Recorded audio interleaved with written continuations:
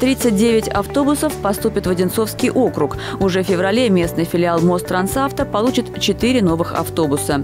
Эти машины будут направлены в Звенигород, чтобы решить проблему, на которую часто жалуются жители города, а именно на несоблюдение расписания на маршрутах номер 22 и 23.